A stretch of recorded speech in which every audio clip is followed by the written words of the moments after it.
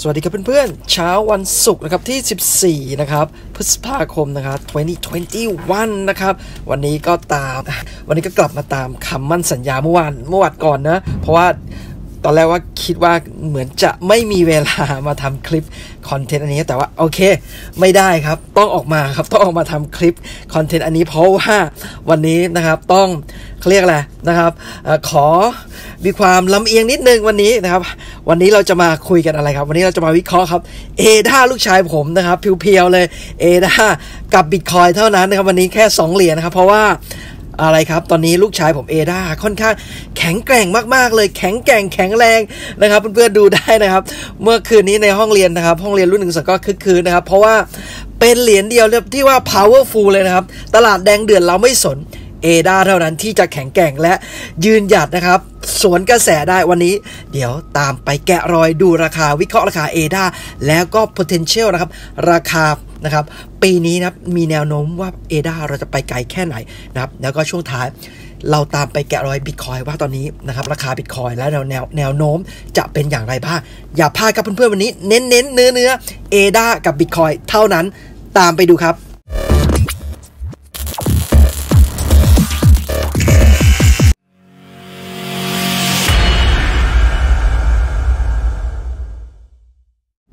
ครับก็ขอบคุณเพื่อนๆทุกท่านมากๆนะครับที่กดไลค์กดแชร์นะครับ แล้วก็คอมเมนต์มาคุยกันนะครับ อย่าลืมนะใครที่เพิ่งเข้ามาชมช anel ของผมนะครับ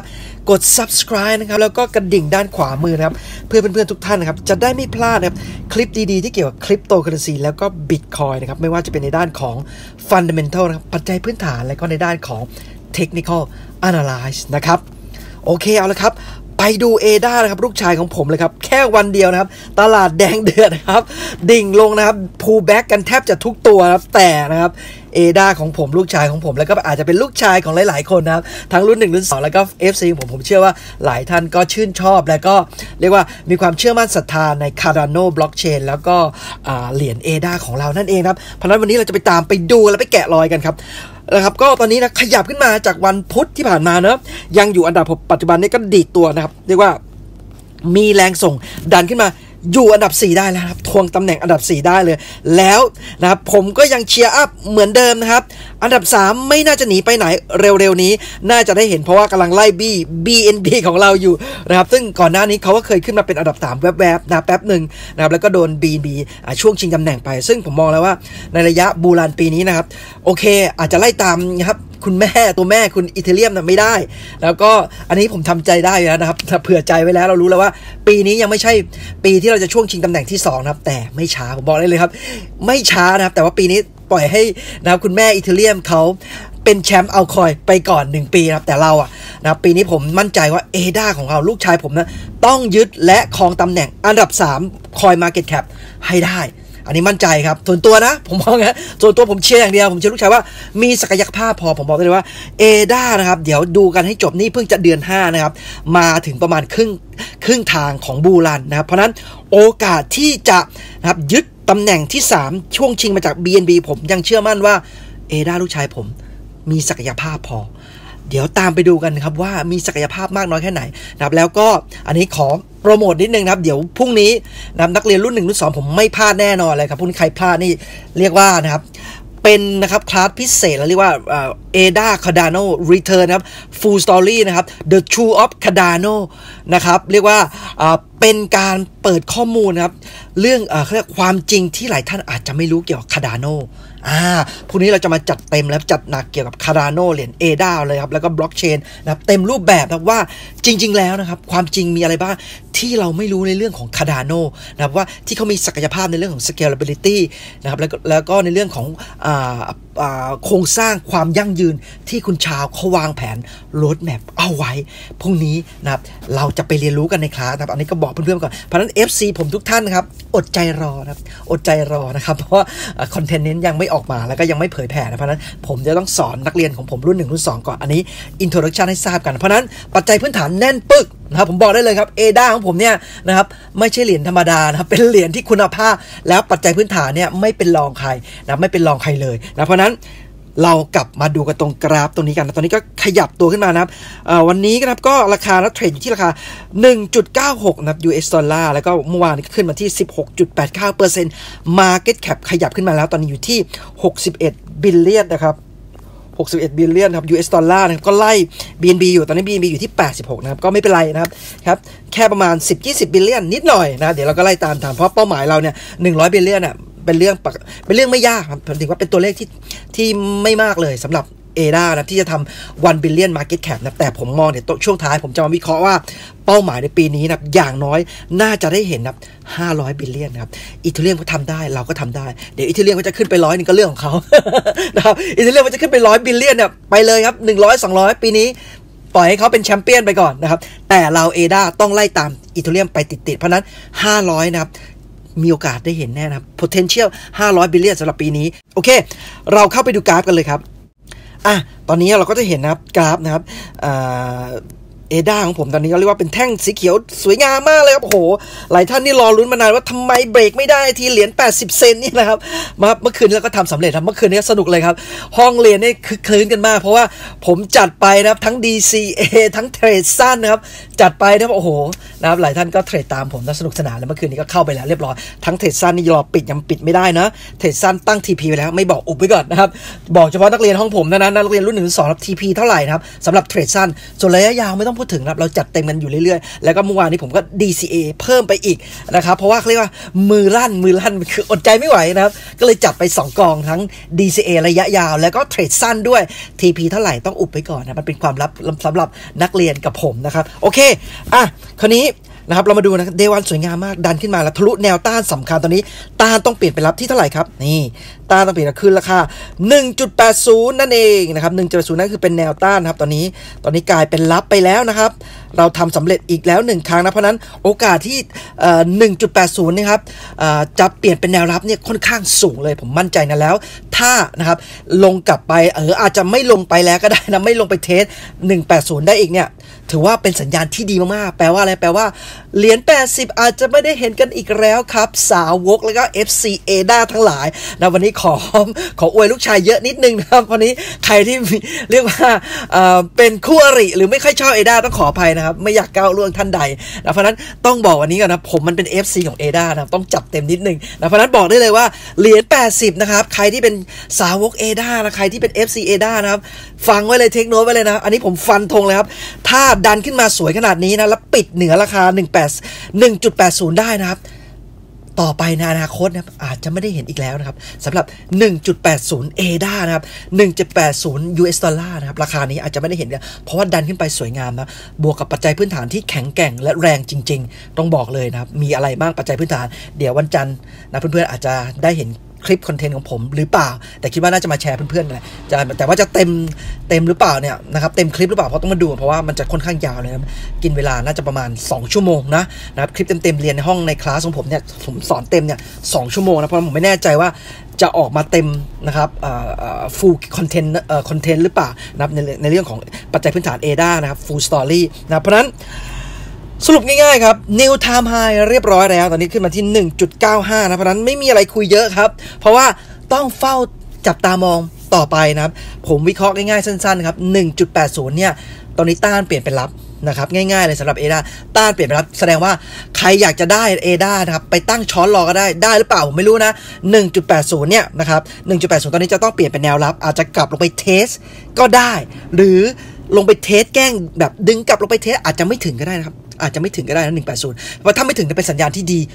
มากๆ เพราะว่าอะไรครับ ต้านเปลี่ยนเป็นรับแล้วก็จะบินไปเท่าไหร่ก็แล้วแต่สองเหรียญเนี่ยคงอีกไม่กี่วันก็คงจะได้เห็นนะnew time high ที่ 2 เหรียญนะครับอาจจะเป็นวันนี้ด้วย อาจจะเป็นวันนี้วันศุกร์ใช่ไหมผมคิดว่าที่ออสเตรเลียแท่งเทียนยังไม่ปิดนะถ้าไม่ปิดวันนี้ก็อาจจะปิดอีกแท่งหนึ่งนะวันนี้นะครับใกล้จะปิดแล้วนะแล้วก็เดี๋ยวเปิดแท่งใหม่มาเพราะนั้น 2 เหรียญไม่ไกลเกินเอื้อมครับเพื่อนๆสองเหรียญไม่ไกลเกินเอื้อมนะสำหรับเอดานะครับโอเค ก็สรุปสั้นๆ ง่ายๆครับเอดาไปต่อครับ momentum uptrend ยังอยู่ใน momentum uptrend นะทั้งระยะสั้นระยะกลางระยะยาวทุกระยะนะครับยังเป็น momentum uptrend ครับแล้วตอนนี้ก็คือ 1.80 จะเปลี่ยนเป็นแนวรับนะครับฟังให้ดีครับ 1.80 จะเปลี่ยนเป็นแนวรับ ถ้ารับอยู่แล้วลงไปไม่ถึงจะไม่ได้เจอ 1.80 กันอีกแล้วครับเพื่อนๆ โอเค อะ จบแค่นี้เอดาพูดเยอะเดี๋ยวอาจจะมีคนไม่ชอบ โอเคอะไปต่อครับไปดูบิตคอยกันเลยนะครับ ไปดูบิตคอยกันนะครับ BTC นะครับ BTC นะครับ โอ้โห BTC เป็นไงบ้างครับ BTC ของเรานะครับ เดี๋ยวดูนะครับ BTC ใน time frame เท่าไหร่เอ่ย อ่ามาดู time frame day one นะครับก็เมื่อคืนนะผมก็อัปเดตให้กับเพื่อนๆนักเรียนรุ่น 1 รุ่น 2 แล้วก็ห้อง Signal ผมนะเรียบร้อยนะครับ ก็เป็นอย่างตามคาดหมายนะครับ ผมก็วิเคราะห์ไปแล้วว่าถ้าเมื่อคืนนี้นะครับเอ่อไม่สามารถดันรีบาวขึ้นมาเทสราคา 50,000 5300 นะกลมๆ 5300 ได้เนี่ยโอกาสที่กดตัวลำต่อเนี่ยสูงมากๆเลย แล้วก็เป็นจริงนะเมื่อคืนเนี่ยลงต่ำลงไปเนี่ยวันนี้ก็เนี่ยอยู่ที่ลงไปทำโลที่ 46,000เนาะเห็นไหมครับ อ่า นะครับ ทะลุ เรียกว่าใครที่ตั้งรอนะครับ อย่างที่ผมวิเคราะห์ไว้เป๊ะเลยไหมสี่หมื่นเจ็ดครับลิ้นลงลึกไปถึงสี่หมื่นหกด้วย แล้วพนั้นใครที่ตั้งช้อนที่สี่หมื่นเจ็ดได้ไปแน่นอน นักเรียนรุ่นหนึ่งรุ่นสองผมหรือว่า FC ผมที่ผมแจ้งเมื่อวานผมก็แจ้งไปเนาะไม่ใช่วันวานวันพุธจำได้ไหมครับแนวรับของผมนะถูกต้องไหมแนวรับที่สองคือสี่หมื่นเจ็ดรับไปแล้วนะ รับไปแล้วนะสี่หมื่นเจ็ดนี่ลงไปถึงสี่หมื่นหกเพราะนั้นยังเหลืออีกรับหนึ่งนะครับ รับสุดท้ายรับที่สามคือสี่หมื่นสามซึ่งต้องมาดูในวันนี้นะครับ ถ้านะครับยังรีบาวขึ้นไปไม่ได้เนี่ยนะครับ ยังไม่สามารถรีบาวหรือขึ้นไป แตะหรือปิดเหนือราคา 50,000 5300 ให้ได้ตรงนั้นเป็นแนวแนวแนวต้านสำคัญเลยนะครับ เพราะนั้นก็มีโอกาสที่จะกดตัวลงต่อเลยนะ เพราะว่าตอนนี้อันตรายมาก ๆ เพราะอะไรครับ เส้น EMA 9 นะครับ ตัดเส้น 21 และ 50 ใน time frame day 1ลงไปแล้วครับ เห็นไหมครับ ตรงนี้เป็นสัญญาณไม่ค่อยดีเลย ผมบอกเพื่อนๆไว้ก่อนนะ เป็นสัญญาณไม่ค่อยดีเลยเท่าไหร่เลยนะ เพราะนั้นต้องระวังนิดนึงนะ ต้องระวังนะแต่ว่าไม่ได้ให้พานิกกันนะ เพราะว่าตรงนี้ก็เป็นสัญญาณที่ว่าย่อตัวลงต่ำต่อ pull back ลงต่ออีกนะครับเรียกว่าอาจจะถึง pull back อาจจะถึงขั้น correction เลยก็ได้นะเพราะนี้ถ้าลงลึกมันเนี่ยอาจจะถึงขั้น correction เลย เพราะว่าถ้าลึกลงไป 4 3 0 0 0เนี่ยผมไม่อยากจะมองไปถึง 40,000นะครับเพราะนั้นขอนะครับแล้วก็ภาวนาให้ 43,000รับให้อยู่นะถ้า43,000รับอยู่แล้ว ก็จะทำให้เรียกว่าบิตคอยน์มีความแข็งแกร่งแข็งแรงแล้วก็นะครับพยายามจะดีดตัวกลับขึ้นมา แล้วก็สร้างไซด์เวย์แล้วก็พร้อมที่จะบินต่อไปในอนาคต แต่อย่างไรก็ตามเนี่ยเพื่อนๆก็ต้องไม่ประมาทนะเพราะว่าตลาดนะครับไม่คาดคิดเกิดขึ้นได้ตลอดเวลานะครับเพราะฉะนั้นในตลาดเนี่ยนะครับคริปโตเนี่ยโดยเฉพาะ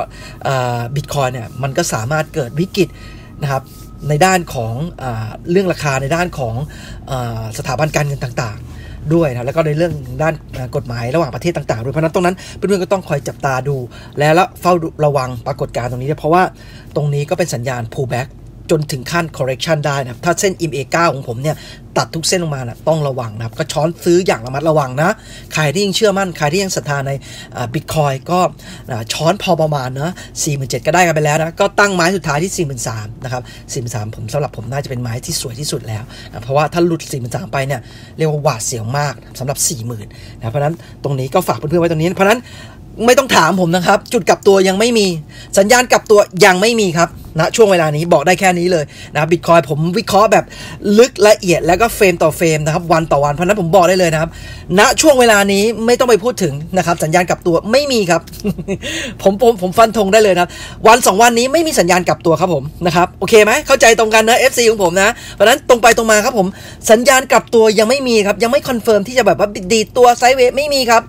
ครับการันตีฟันธงครับ เพราะว่าตอนนี้สัญญาณมีแต่ย่อลงต่อกับจะ rebound ขึ้นมาได้หรือไม่ ฟังให้ดีนะต้องแยกประเด็นนะ ย่อตัวลงต่อเนี่ยสูงมากๆ นะครับโอกาสที่ย่อตัวลงไปเนี่ยเรียกว่าเกิน 50%ที่จะลงไป test 43,000เนี่ยมีมากเลยในสำหรับวันเสาร์และวันอาทิตย์ แล้วเปอร์เซ็นต์ที่จะ rebound ขึ้นมาก็มีครับประมาณ 10-20%ที่จะ rebound ขึ้นไป test แนวต้าน